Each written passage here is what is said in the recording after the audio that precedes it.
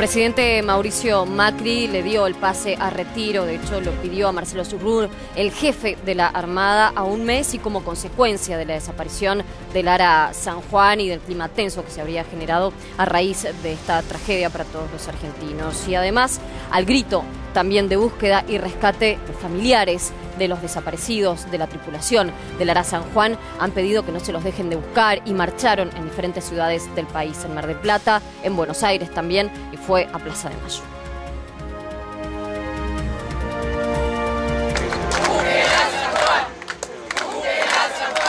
Estamos acá para recordarles esa promesa que era buscarlos hasta encontrarlos, porque un marino no deja atrás a otro marino,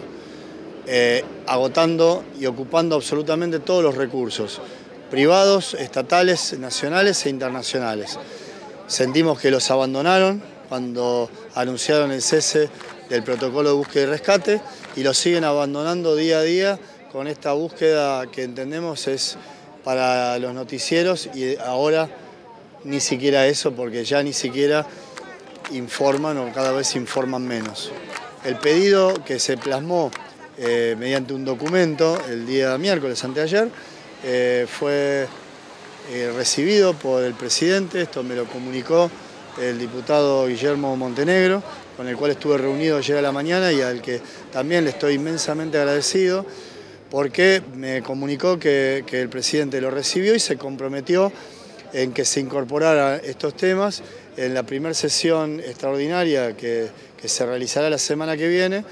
Y si los diputados que estuvieron presentes cumplen con su compromiso, se van a aprobar rápidamente y va a marcar una inversión de, esta,